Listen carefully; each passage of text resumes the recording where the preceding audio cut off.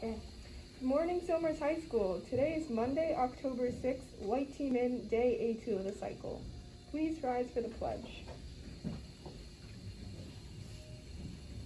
I pledge allegiance to the flag of the United States of America and to the republic for which it stands, one nation, under God, indivisible, with liberty and justice for all. Please remain standing for a moment of silence. Thank you. Please be seated. Sophomores and juniors, if you plan on taking the PSAT October 17th, today is the last day for registration. And for those students who are registered, we have practice textbooks located in the college, oh, counseling center and college and career center.